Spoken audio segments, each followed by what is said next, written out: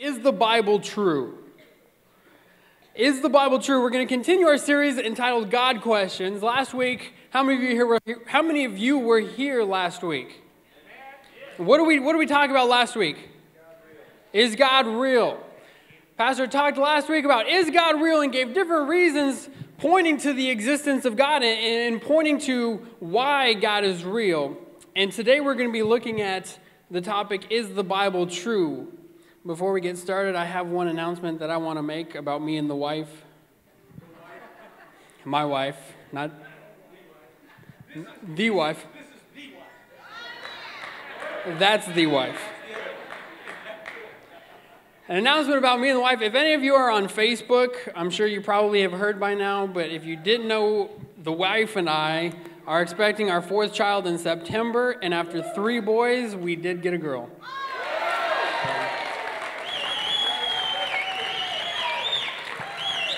And it has begun because yesterday, guess what yesterday was? Yesterday was tutu and headband making day. So, I'm looking forward to that. I'm not looking forward to the second job I'm going to have to get to pay for this girl. But we're going to be looking today at the topic Is the Bible true? And pay no attention to the man behind the curtain. But this morning, John chapter 1, and we've heard it many times and you're going to hear it again today. The Bible says in verse 1 In the beginning was the what? Word. Was the Word, and the Word was with God, and the Word was God. Lord, thank you for your word today. Father God, as we as we examine your word, as we examine the Bible, Father God, I just pray that you would open our eyes, open our ears, that you would speak to us, that you would show us things, Father God. May I be, may I communicate clearly. And may it be not me communicating, but Lord, may you be speaking through me today, Father. In your mighty name we pray, and everybody said, Amen. Amen. Amen. John chapter 1, in the beginning was the Word, the Word was with God, and the Word was God. We've all heard that before. Hebrews 4.12. You've heard this as well. For the Word of God is alive and powerful, sharper than any what? Two-edged sword. The word of God is alive and powerful. Hebrews 4:12. 2 Timothy 3:16. All scripture is inspired by God and useful to teach us what is true and to make us realize what is wrong in our lives. See, the Bible was written by 40 different authors, 39, 40 different authors over a period of 1,500 years on three different continents in three different languages. And as you look at the Bible, it all points to the same thing, which in itself is an improbability the fact that you could get 40 people over 1500 years on three different different cultures different different time periods different this different and they could all basically point to the same thing is crazy. It's it's improbable. You're not going to find that anywhere else but in the word of god. This morning we could go scripture by scripture talking about why the word of god is true why the bible is the inspired word of god but people would say, well, you can't use the Bible to prove the Bible's truth. Right? How many of you heard that, that argument? You can't tell me that the Bible's true because the Bible says it's true, is their argument. So, okay, that's fine. We'll look at some other things.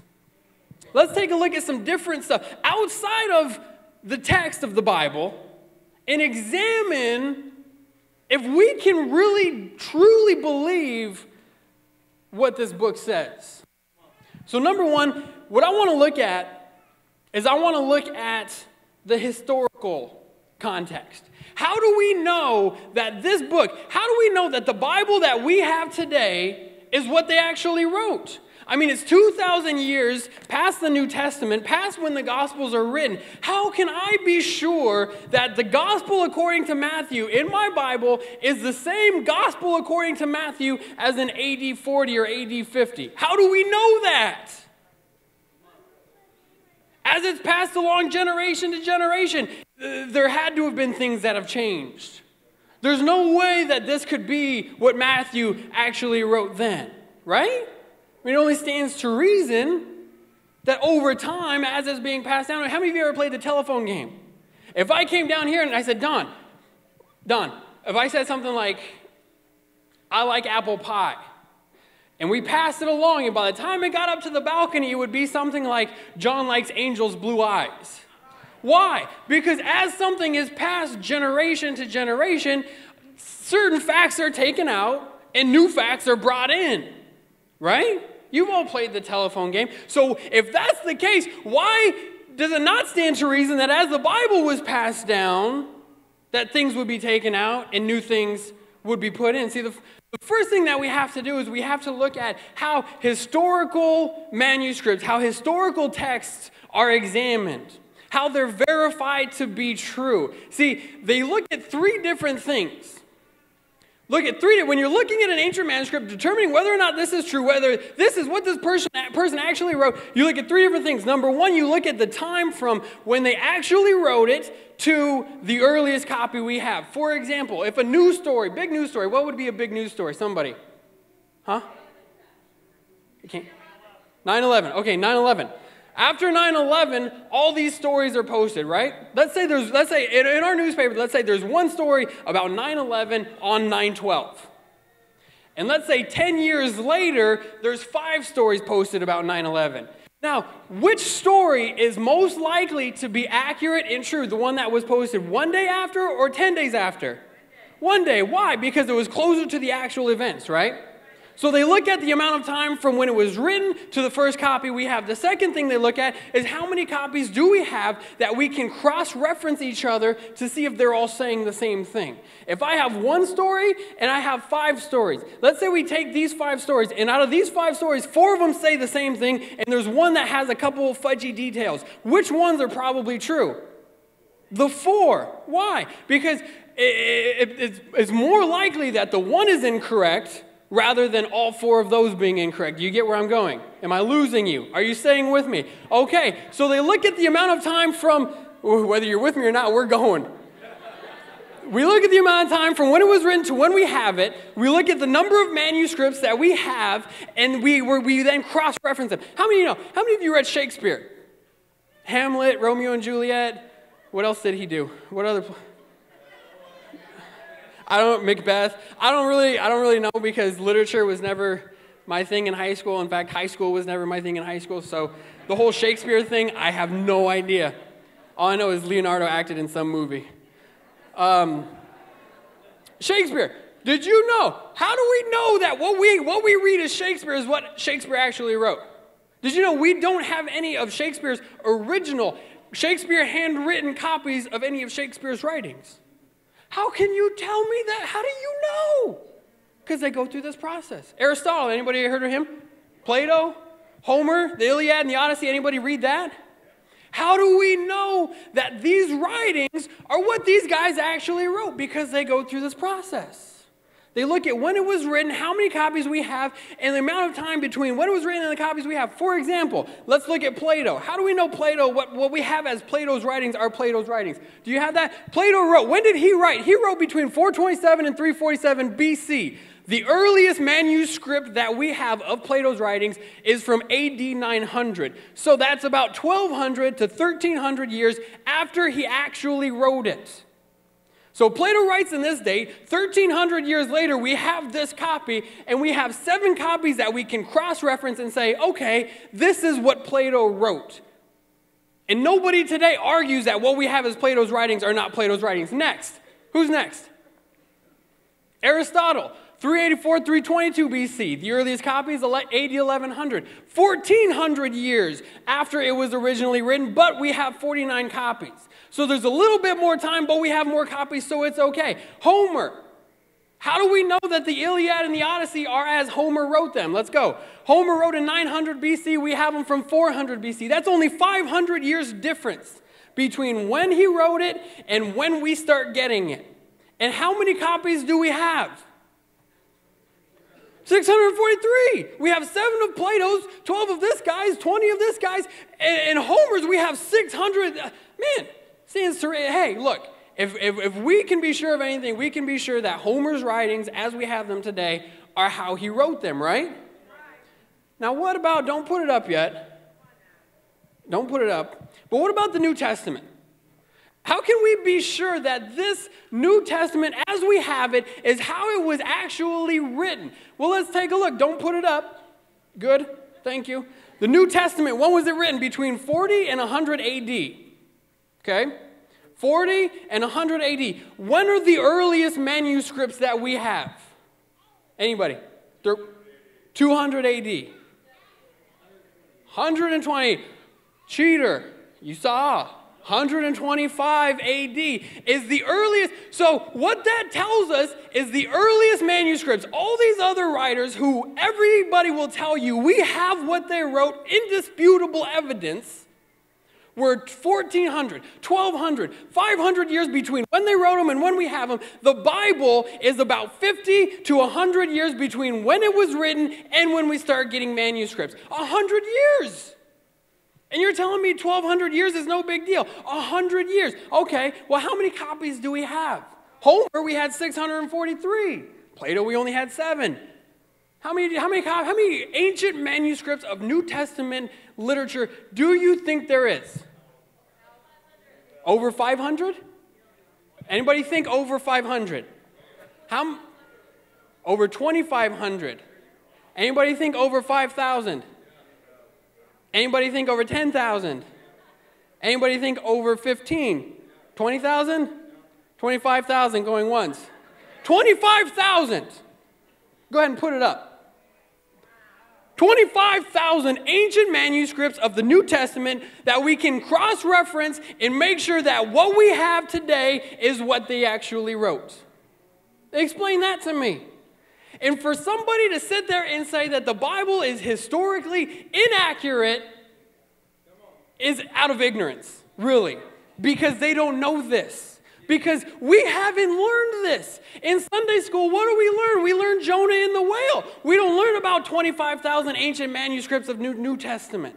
So we don't know this. So when somebody comes and says, well, it was passed down generation to generation, how can it possibly be true? We have nothing to back it up.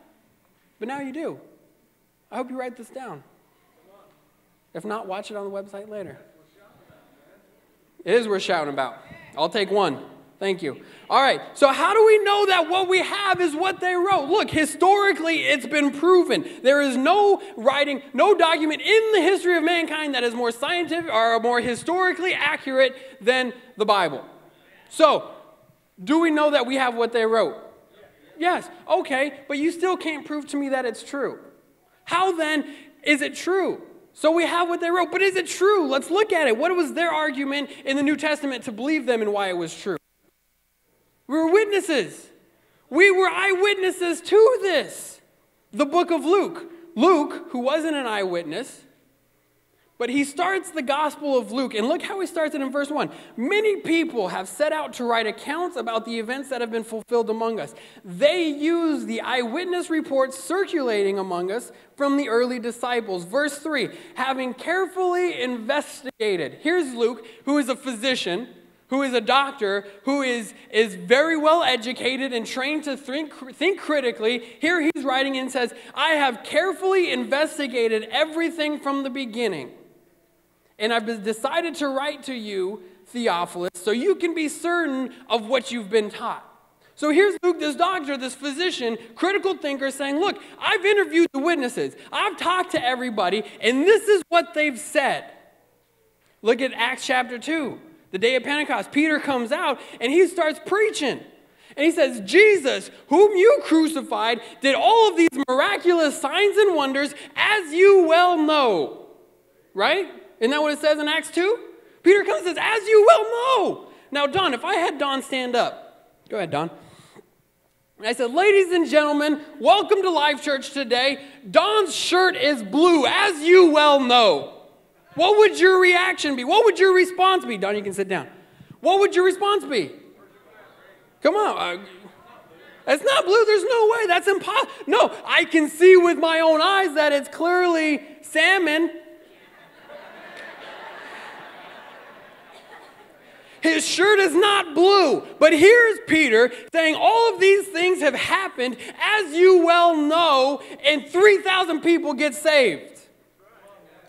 If that's not evidence, how is it then during the 60 years after Jesus' resurrection that the early church grew faster during that period of time as any other period of time when there were more eyewitnesses to refute the claims had they been false?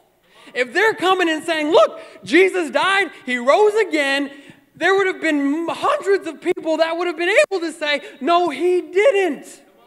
Because my grandmama's uncle's cousin, sister's neighbor told me. She saw and she didn't see that. But no, the New Testament church explodes and turns Rome on its side. How is that possible if what they said was not true? See, they said we're, belie- we were eyewitnesses. We saw this. We saw this with our own eyes. And we could go on and on and on, but we gotta, we gotta move on here.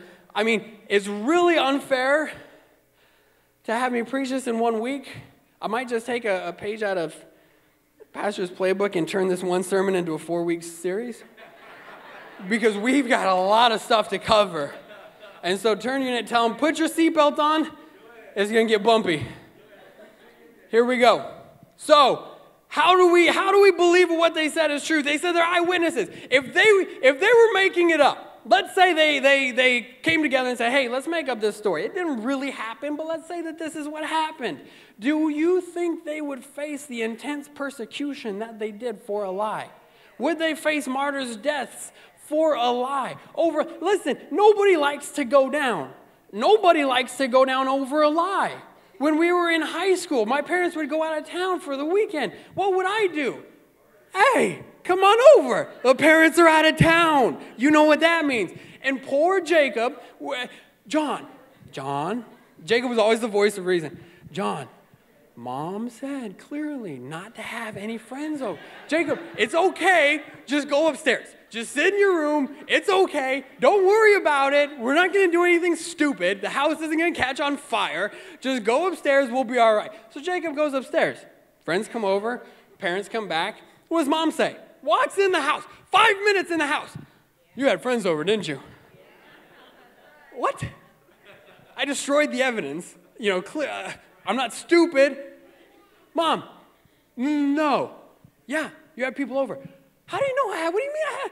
John, this dinner table is two inches farther that way now. As I swear, she went around the house with a tape measure. And if anything was out of place, and so what happens? Jacob, Jacob, did John have people over? And Jacob, why? Because he ain't going down for my lie. I love you, bro, but I'm not getting grounded. And that was just over a week of grounding. Here they're facing death, and around every corner they're facing persecution. Do you think they would have stuck to their story had it not been true? Absolutely not. We could go on and on, and example and example, but we're going to move on. What about contradictions? How many of you ever heard that? Contradictions in the Bible. What about contradictions? Some of you saying, well, well, Pastor, the Bible can't contradict itself. Let's take a look. Let's take a look. Matthew chapter 20. If you want to turn there, you can. By the time you get there, I might be gone. You can write it down in your notes. I gave you just a blank sheet to write what you want to write. Matthew chapter 20. As Jesus and the disciples left the town of Jericho, here we go. Left the town of where? Jericho. Jericho. A large crowd followed them. Two blind men. How many? Two blind men followed them, saying, Jesus, hey, he's coming. Lord, son of David, have mercy on us. Be quiet. What do you want? Uh, we want to see. What does Jesus do? I think you got to go to the next one. There you go.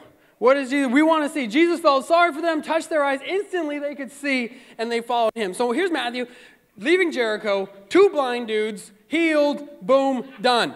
Mark chapter 10. Then they reached Jericho, and as Jesus and his disciples left town, a large crowd followed him. Same story. A blind beggar. How many blind beggars? One.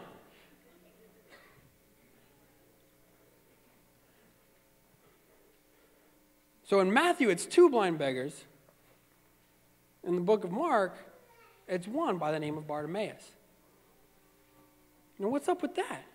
I mean, if the Bible is true, and if the Bible is the inspired word of God, and if the Bible, everything that the Bible says is true, how can there be two, one situation and one the next? Listen, it's an eyewitness account. Matthew is writing from what he saw. Mark, scholars will tell us, is probably writing the testimony of Peter. So here's maybe what Peter said and what Matthew said.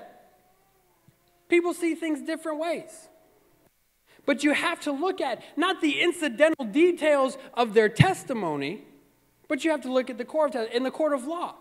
If I call two eyewitnesses up who were witness to a murder and I say, Is this the guy you saw pull the trigger? Yes. How do you know? Because I picked him out in a lineup. Are you sure? Yes. And you saw him walk away? Yes. What kind of car did he get into? And one says, He got into a silver Grand Prix. And the next guy, yes, I saw him pull the trigger. Yes, I saw him do it. Yes, I saw him. He walked right past me and got into a blue Taurus. Well, clearly they can't be telling the truth because it was, listen, I don't care what kind of car the guy got into. Did you see this man pull the trigger? Yes, I did. Okay. You look at the core of the testimony. It's not about the incidental details because with eyewitness reports, incidental details might change from case to case. So, how does this show me? How, how do I know then that the Bible is true? Look, Listen, you look at the core. I don't care. Was there one guy? Maybe what happened is Peter, after Bartimaeus gets healed, Peter gets close to Bart. And as they're walking with Jesus, Peter and Bart start talking. So that when Peter's telling Mark, hey, dude, this is what happened. One day we were in Jericho, and then we left Jericho. And dude, we were walking out, and Bart was there. And as we were leaving town, Bart got healed. And that's when Bart got healed. And maybe as Matthew's telling the story, Matthew's telling the story, dude, we were pulling out of Jericho. We were just, we were rolling out. We were right on the exit. We were about to turn, and these two dudes walk up to the car. I don't know how they walked up to the car because they're blind, but these two blind dudes walk up to the car, and guess what? Jesus heals them. Was it one guy? I don't know. Was it two guys? I don't know. Was it 30 guys? Could have been. What are you saying? I say it doesn't matter how many guys were healed. What matters is that Jesus is the one who heals them. And Jesus, working under the authority of God as fully God and fully man, heals these men.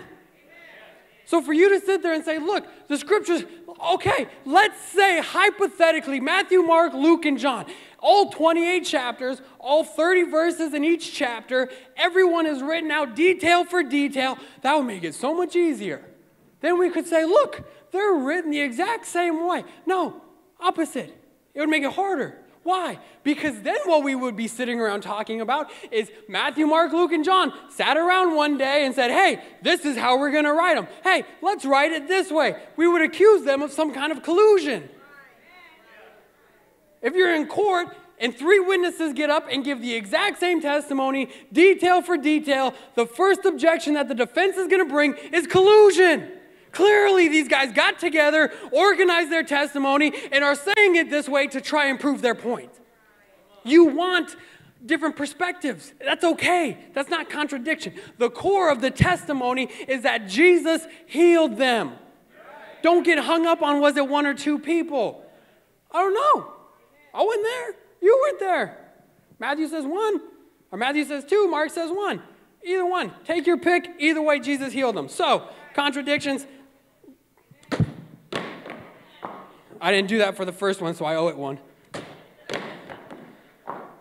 Why are you doing that? Because over time, people have set up things to say, hey, look at this.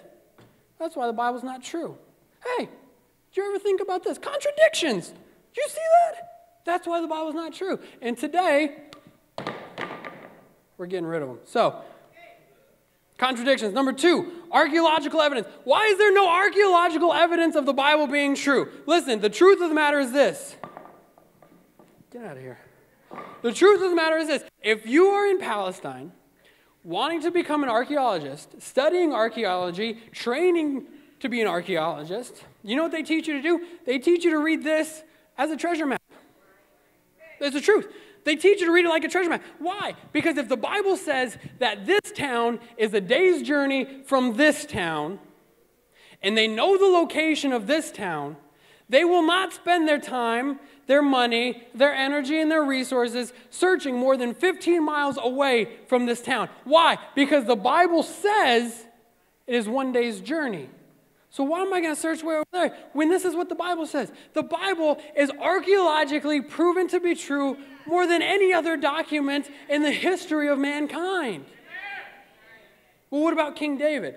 If King David was this great king, conquered all these people, why would there not be, you know, why would you not dig up some pillar dedicated to King David or with his markings on? Why has that never happened? Listen, King David conquered a lot of people, right? We would agree? He went in, done. He was basically God's ninja. Okay? So, so they're sitting there worshiping their pagan gods, and all of a sudden on the horizon they see God's ninja coming. They know they're in trouble. So David has conquered all of these people. Why haven't we found anything?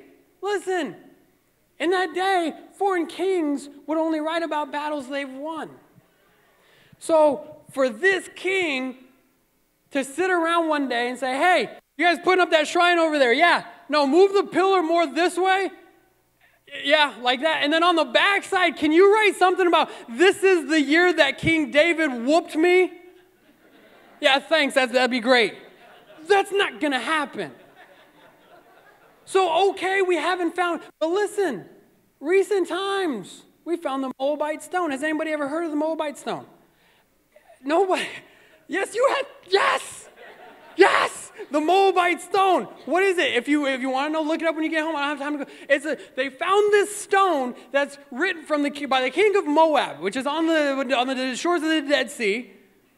So he's writing this, and he's you know he's making mention to different people from the Bible, King Ahab, and you know different things. And at the bottom makes reference to the house of David. The house of David. There's King David for you. Okay, well, what about Jesus? What about Nazareth? How come we've never found Nazareth? Guess what? They found it. You know why it took so long? There was 11 homes. And you thought your town was small. He came from a town of 11 homes. They found it. Well, why hasn't there been anything, any, any markings for Jesus Christ? Guess what? They found it.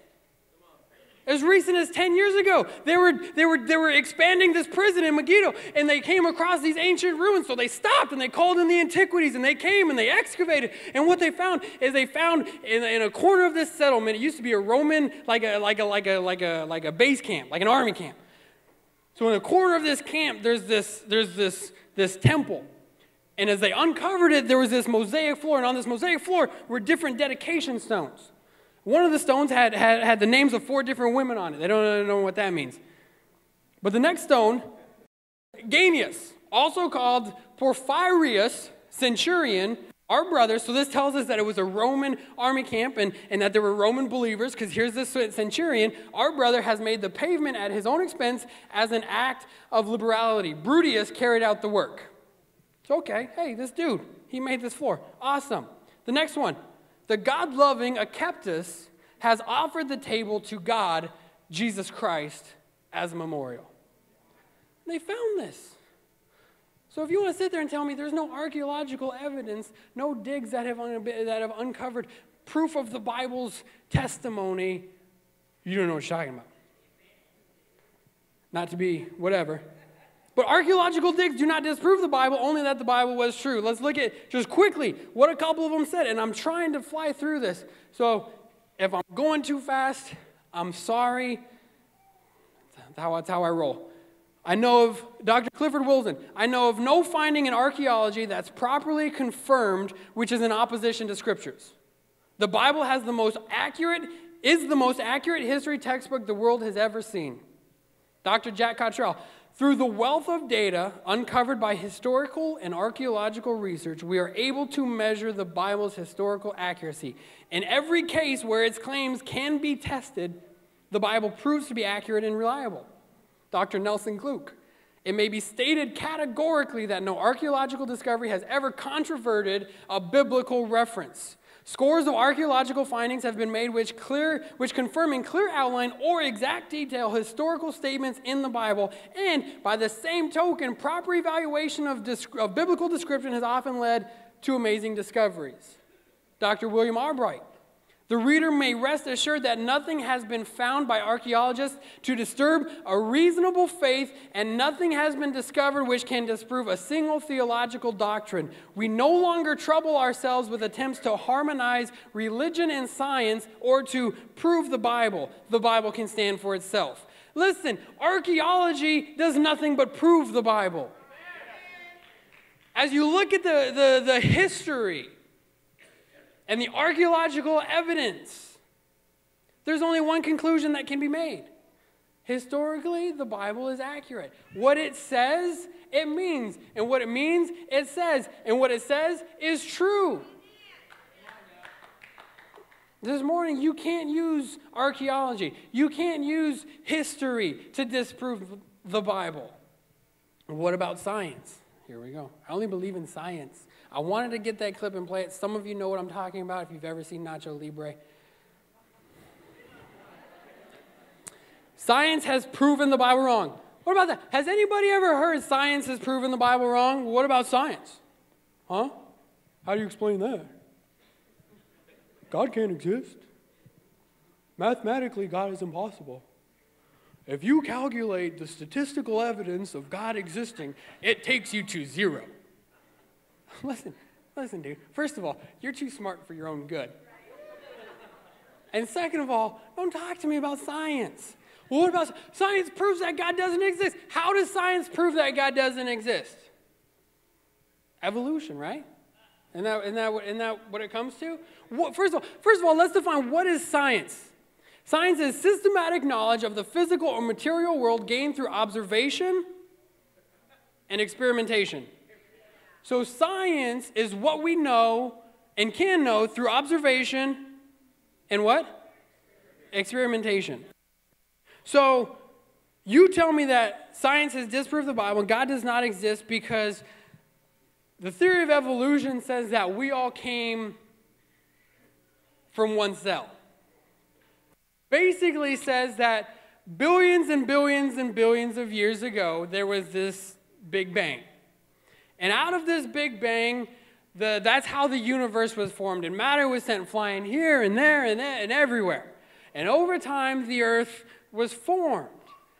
And then all of a sudden, there was this living cell, just one living cell, that split and split and split and split and split and split, and split into now every animal and every living thing and every plant and every everything that has life today came from that cell. That's what evolution tells us. And so, so you tell me that science proves the Bible's false because of the theory of evolution, which says that there is no creator and that we have all just, just evolved into what we are now by natural selection and mutation, and, and, and basically viruses turning into bacteria, and bacteria turning into to, to, to fish, and fish to reptiles, and reptiles to amphibians, and amphibians to birds, and birds to mammals. I probably mixed up like three or four of those. It doesn't matter the order. It's ridiculous either way you put it. So, so, so you're telling me God doesn't exist because evolution says that way back there's there's no creator and we just just by happenstance everything that you see now was created, which is ludicrous. It really is. Well, but God is impossible. How then? How, so you're going to tell me that instead of this happening over billions of years, that in six days God created everything. That's mathematically impossible. Listen, don't tell me about what's impossible. Don't talk to me about what's impossible. The Bible says that for God nothing is impossible. The Bible says that in the beginning was the Word, and the Word was with God, and the Word was God. He was with God in the beginning, and through Him all things were made. Nothing has been made without Him. That's what the Bible says. Well, again, there you go, using the Bible to prove the Bible. Okay. You want to talk about mathematical improbabilities. You want to talk about impossibilities. There's a couple of assumptions that you have to make in order to believe evolution. Number one is spontaneous generation.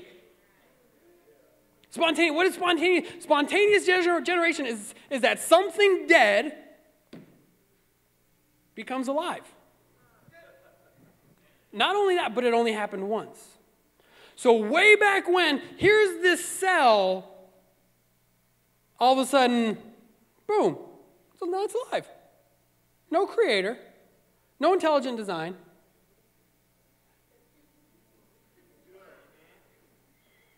So, so it's impossible for me to believe that God reached down and created everything, but it's not impossible for you to believe that life came from nowhere. you want to talk about impossibilities? Let's talk impossibilities. That's fine. But don't try and tell me that evolution is a scientific fact because it's not. It's a theory. Now, am I saying that all evolution is, is wrong? No. I'm sure some microevolution, we adapt to our surroundings. There are animals that will adapt to a, sur, uh, a, certain surrounding. I'm not, I'm not denying that. There are, there are changes that are made within species. Why do you think there are so many different breeds of dogs? The, there is some form of microevolution. But evolution in the Darwinian sense that we all originate from one cell is impossible. It's ridiculous. It's ludicrous. And don't, don't use that as an argument to prove why my Bible is not true. Evolution is not true. So spontaneous generation occurred, and everything has the same ancestor. Everything dates back to the first cell. Listen, here's my question, which evolutionists still can't answer. If viruses became bacteria, plants became animals, if, if amphibians became birds, and birds became mammals, where's the evidence? If you're telling me that it's scientific that a bird turned into a mammal, where in the fossil record is this half bird, half mammal? Where is it at?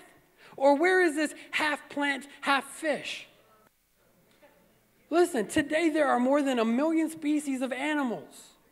We have fossil records for 88% of them. Not one lick of evidence in the fossil record for transitional or intermediate fossils. Intermediate creatures meaning going from this into that. Not one lick of evidence in the fossil record. It is a lie. thank you. It is a all right. It's a lie. Chipotle, here I come. Let's go.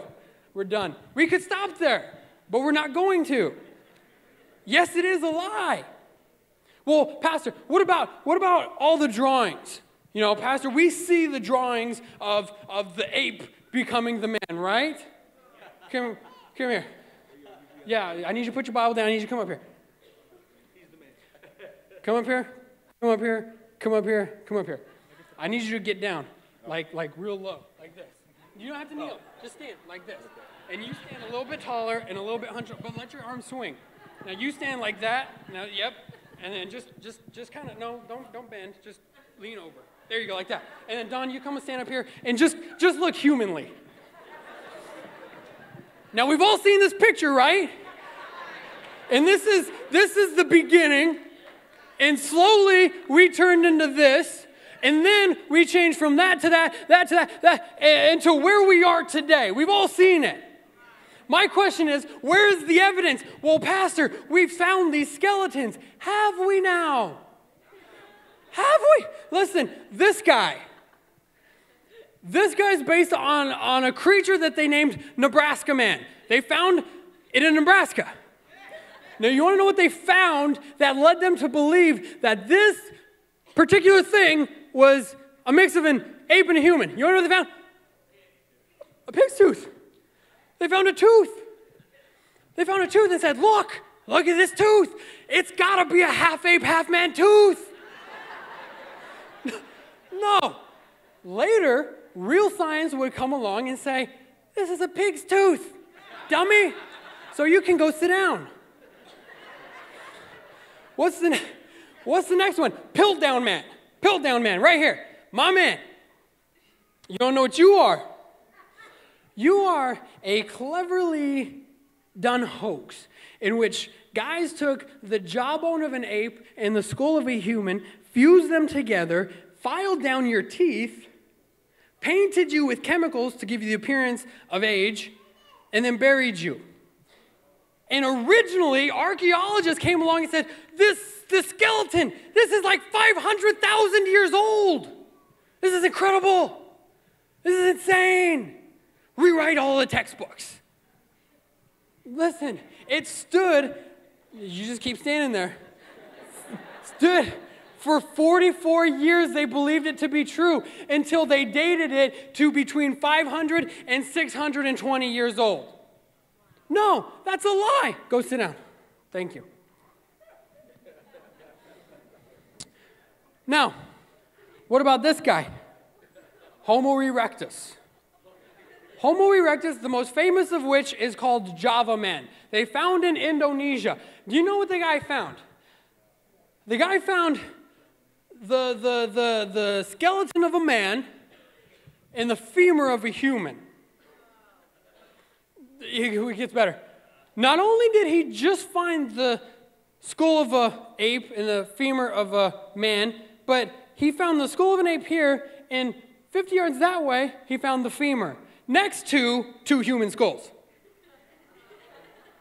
And this is Java Man. You can sit down, Java Man. Next, this isn't you yet, so hold your breath. Next, Neanderthal Man. I didn't get enough, I didn't get enough guys, get enough monkeys.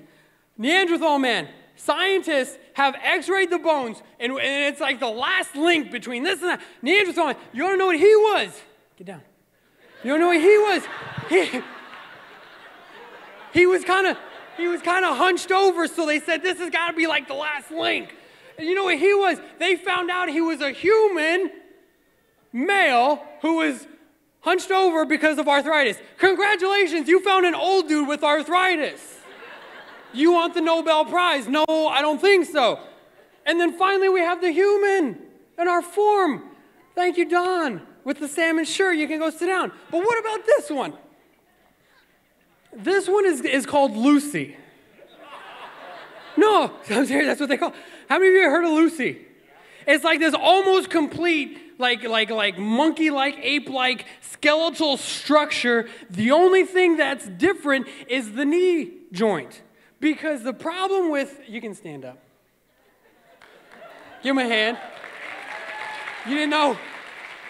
I didn't tell you to sit down yet. You didn't know you were getting your workout in today, did you? So the only the only problem between ape and human, why it couldn't? Because they can't walk upright because they're knee joints. They could do it for short periods of time, but they get tired because the humans have the only knee that allow us to walk upright. Okay? So they found this this like ape skeleton with like a human knee joint. This is Lucy. This is the missing link. This is what we've been waiting for. You know what they you know what they, they found out? What they found out is that they, they found the skeleton here. And they found the knee joint, listen to this. They found the knee joint a mile away, 50 feet deeper in the earth than where they found the skeleton. And their explanation is that a dog or a wild animal would have come, just taken the knee joint, and went and dropped it in a well. Now, you want to talk to me about impossibilities and improbabilities and the likelihood of something happening? Yeah, I don't think you can sit down. Thank you. Give him a hand. So, listen, here's my beef with evolution. Other than the fact that it tells me God doesn't exist. My beef, scientifically and evidence wise, with evolution is if everything has transitioned into what we see now, where in the fossil record are the transitional and intermediate forms? You know what, the, you know what they, they said? Is the thing is, is they say, they say scientists, science they'll say, evolution is changing. Evolution always changes. We find something else and then we, we, we go this, and, and we find something else to prove this. And evolution is always changing. Listen, I'm here to say if you want to believe in something that is always changing and something that is going to be different two years from now than it is today, then you go ahead. But for me, I'm going to put my faith in something that is the same yesterday, today, and forever, something that has never changed, is not changing, and will never change evolution is changing. What they, what they believe now is, is, is, is it didn't happen over gradual periods of time. Sure, the, the earth is 450 some odd billion, or 4.5 billion years old. You know, that's okay. But, but what they believe now is macro evolution. And what this says is that it didn't happen over grad, it wasn't a gradual mutation into this. It was rapid. And that evolution would be going along one way, and then all of a sudden, animals went extinct, new animals were born. So basically, one day a bird lays an egg and a puppy is born.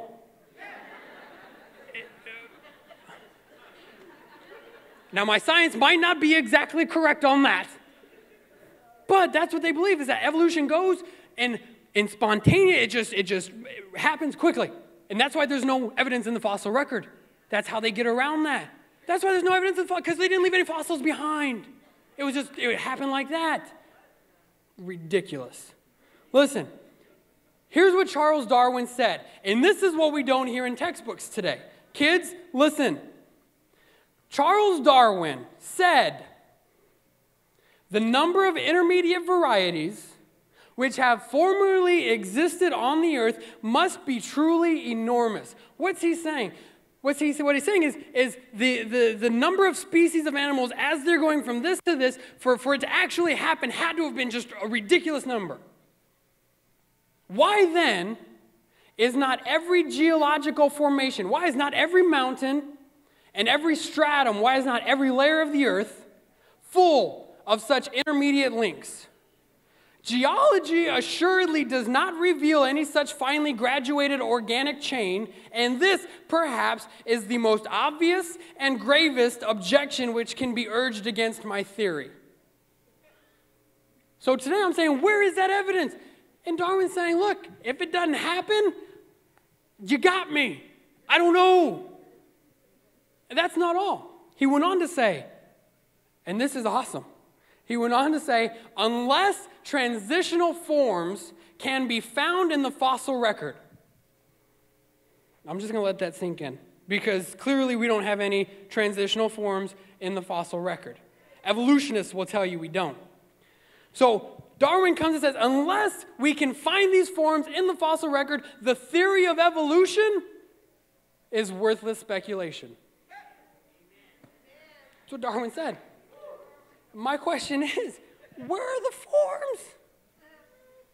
Where are they? They're not there. Evolution does not survive by science. It is not a fact that can be observed or experimented upon. They tried to create matter, they tried to create life from nothing. They took the elements and the, the, things that were present, that they say were present, and they say, well, a bolt of lightning could have come and brought enough energy to bring that to life. They've done it, and it didn't work. They can't go back and do it. So for you to tell me the Bible is not true because it's not observable and it's not experimentation, experimentable. Jake, is that a word? You cannot perform experiments on such. You can't do that for evolution either. Why am I harping on evolution? Because it's a big topic. It's a big topic today because evolution leads us to the conclusion that God does not exist. And that is in direct contrast with what I know to be true. So that is why I'm spending so much time here. And students are not told the other side. They're not told that Darwin said if we can't find these forms, it's worthless speculation. They're being taught that it's a fact. And that if you believe in creation, you're a lunatic. And there are professors and geologists and biologists at universities who are losing their jobs and getting fired because they speak out, not saying it's wrong, but bringing questions about evolution. They're questioning it and getting fired. That's why we need to know what we know and why we know it. So don't tell me science proves that God doesn't exist. If anything, the Bible proves by science that it's true. Let's take a look at what the Bible says about science. How many of you know that the earth is round? All of you. Okay. Isaiah 40, 22. We have that scripture. Isaiah 4:20, God sits above the circle of the earth. How is that written thousands of years before it was proven true? People thought the earth was flat. That if you sailed, Christopher Columbus, be careful, don't sail off the earth. But here is Isaiah. God sits above the circle of the earth. What's next? Jeremiah 33 22. And as the stars of the sky cannot be counted, the sand of the seashore cannot be measured. The stars are innumerable. The first astronomers thought there's probably six to 7,000 stars. No. It wasn't until the telescope was discovered or invented that we actually discovered that, you know what, we can't count the stars. So again, sci- uh, the Bible is speaking scientific fact before the science even catches up to it. And I'm here to tell you that should God tarry and give us enough time, that one day the science community is going to catch up to what the Bible is saying. What's next? Job 38, 16. Have you explored the springs from which the seas come? Underwater springs. We didn't know that existed until recently. What's next? 1 Corinthians 15, 41. The sun has one kind, the moon and stars each have another. And even the stars differ from each other. Every star is different. Everybody said every star is the same. Just a big ball. It's just, it's all the same. No, they're different. Next one, last one. The wind moves in circular patterns. How do you know the wind doesn't move in a straight line? We see on the news, we see pictures of the hurricanes and the tornadoes and the weather, the weather patterns move in circles, right? Everybody, just nod your head so I know at least you're awake. Come on, I know the, arche- I know the archaeology was boring, but this part's not boring. Wind moves in circles. Ecclesiastes. The wind blows south, then turns north. Around and around it goes, blowing in circles. How? And I could go on. I mean, we could be here all afternoon, but I don't want to be. I don't want to keep you here all afternoon. How could the Bible speak to scientific fact before scientific fact was proven to be true? Well, the earth is 4.5 billion years old. You believe in creation, it's only 6,000 years old. That's impossible. I have this rock. This rock, I can tell you without a doubt, this rock is a million years old. That alone disproves creation. Okay, you have a rock that's a million years old. Congratulations. But listen, let me show you something. In the beginning, God created heavens and the earth. And on the sixth day, he created man. Did, when he created Adam, did God create a baby? Did God create a little baby princess like this? No. What did he, what did he create? Adam was, Adam was full grown, right? 20s, 30s, whatever. Now, if you want to run down a rabbit hole, did Adam have a belly button? Since he wasn't born and he had no umbilical cord, we don't need to go there, but just think about that on your own. So God creates Adam. Adam is one day old. Adam is one day old, but has the appearance of age. Okay? Right? Now let's jump ahead to John chapter 2. Jesus is at a wedding in Cana. And his mom comes to him and says, Dude, she probably didn't call him dude. Jesus, Jesus, they're out of wine. Jesus says, It's not my problem. My time has not yet come. What do you want me to do about it? So he told the servants, Hey, take those six jars, fill them up with water. Bring it, bring here, pour it out. Pour me a glass. What comes out? Wine. Water to wine. He took it. What did he say? Take it to the DJ. Take it to the master of ceremonies, take it to the DJ, and give the DJ glasses wine. What does the DJ say? Dude, this is the best wine I've ever had.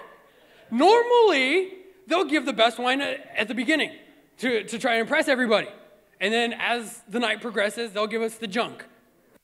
But you, they have saved the best wine for last. Now, what does wine need to become the best? age, fermentation. So here Jesus comes, creates wine, freshly made, freshly squeezed, with the appearance of age. Six jars. Why then could God not come six days? Six jars, six days. I'm not saying, but maybe. What's to say God couldn't have come and created the earth with the appearance of age? The earth with appearance of age, man with appearance of age. Jesus, wine with the appearance of age. Why could it not? I'm not saying it's true. I have no idea. I don't know if the earth is 6,000 years old. I don't know if it's a billion years. Listen, I don't know. I wasn't. If you want to ask me my opinion, disclaimer this is John's opinion. In no way does this opinion reflect anything. If you want my opinion, my opinion is God created the earth in six days 24 hour periods of time. The first day, heavens and the earth, and so on and so on. And so the earth, yes, is 6,000 years old with the appearance of age. So, sure, there could be geological formations and rocks and such that test to later dates, but why could it not have been? I don't know. And the truth of the matter is, it doesn't matter. In no way does whether the earth is six thousand years old or billions of years old affect my salvation knowing that Jesus came, was who he said he was, did what he said he did, died for me, rose again, wants to be in relationship, and is redeeming me. In no way does that affect my faith and my salvation. So the truth of the matter is, I don't know. I know you were wanting some like deep philosophical. I don't know. But does it really matter? At the end of the day, does that really matter? No. It might be one of the questions we ask God when we get to heaven. Hey, what happened? I really want there to be a DVR in heaven. Like a DVR of time that we can just rewind. And like Moses in the Red Sea, I just want to rewind it and just play it and just keep rewinding it. Stuff like that. Jericho. Anyway, that's neither here nor there. So, science. What time is it? Whew. Science. Last thing prophecy. Prophecy. Prophecy in the Bible. There are hundreds of prophecies about the coming Messiah in the Old Testament. Well, those were put there after Jesus. No, the Dead Sea Scrolls predate Jesus' time to prove that those were actually in the Old Testament before he came. So, here's these prophecies. And you don't have to put them up on the screen, but he'll be born in Bethlehem. He'll be born of a virgin. Zechariah 9, he's going to come in riding on a donkey. And Jesus fulfilled all these prophecies. Jake, let me see that bag. Jake, let me see that bag. Thank you. So, what is this? What kind of coin? What kind? A silver dollar, right? Come hold this, Joey. Hold this for me. So, you've got a silver dollar in your hand. Correct. Now, what happens if I take this silver dollar and I put a mark on it and I give you these two? Now you have two. Put them in here. Okay? So there's two silver dollar coins in here. Reach in and pull one out. What are the odds? Before you do, what are the odds that you're going to pull out the marked one? 50 50. One and two. Go ahead. Winner, winner, chicken dinner. No. Eh. All right, put it back. So let's put three more coins. In fact, Let's put the rest of them. There's 10. Okay? 10 coins, one is marked. What are the odds that you're going to pull out the marked coin? One out of 10. All right, let's go for it. Winner! What does he win? Awesome. Congratulations. So, one out of 10, right? We all understand mathematical odds and, and probability and stuff like that. So, let's look at the probability that all of these prophecies about the Messiah were fulfilled in Jesus' life. Let's, what, are, what, are the, what are the odds that he fulfilled eight of them? Eight of these prophecies. What are the odds? Anybody? 1 in 10 to the 17th power. What is that? That's the number. Those are the odds that eight prophecies about the Messiah were fulfilled in Jesus, that he is actually the Messiah. So, what that's saying is that one in a giant number are the odds that he's not who he says he was. That's eight. You don't know how many fulfilled? Over 300. Now, let's look at the next number. What about 48? The chances and the odds of him fulfilling 48 prophecies is 1 in 10 to the, go ahead, 157th power. That's 48. He fulfilled over 300. Now, it's impossible for us to wrap our head around this number. There's no way that you could possibly comprehend that number. So let's just say this. You pulled out a marked coin in 1 in 10. Let's say I took these coins and stacked them two feet high. Obviously, I have to get more coins. Let's say I stacked them two feet high. Let's say me and you get in a car and we drive south. Let's say we go to Texas. All right? We're in Texas. Ever been to Texas? You're not missing anything. Sorry if you're from Texas. So we go to Texas, and I have an unlimited supply of these coins, and I put two feet high of coins across the entire state of Texas 700 miles east to west, 400 miles north to south, something like that. The entire state of Texas is covered in coins, 200 feet high, and I tell you, there's one coin out there with a mark on it. You can go as far as north as south, anywhere you want. Go wherever you want. You can swim through them, but find me that coin. You know what the odds of you finding that coin are? The same as the same as the odds of Jesus not being who he said he was. That's statistical probability. If you're going to give me those odds, I'm taking them. I'm not a betting man, but I'm going to take that. So you want to look at science, you want to look at archaeology, you want to look at history, you want to look at all these other things, look, it all points to the same thing that we have what they wrote, and what they wrote is actually true. The question today is what are you going to do about it? What are you going to do about it? I don't know what you came in here dealing with. I don't know if you're sick. I don't know if you're depressed. I don't know if you're struggling. I don't know where you are, but the question is what are you going to do with this? I don't know the questions you have, but I can point you to the answer. Nathan, if you'd come back. I don't know where you're living, but I can point you to the truth. You're sick. The Bible says that through his stripes we are healed. The joy of the Lord is my strength. Greater is he who is in me than he that is in the world. We are more than conquerors in Christ. Do I need to keep going? What are you going to do with the truth that the Bible is real? Maybe you say, I don't even know Jesus. I've never been to church. I don't know. Listen, that's okay. The Bible says that he loves you. He sent his son to die for you, that he might be in relationship with you. Listen, the entire Bible points in the same direction that God loves you, that He wants to be in relationship with you, and He sent you redemptive power through His Son, Jesus Christ. That's what the Bible is about. This morning, the question is what are you going to do with it?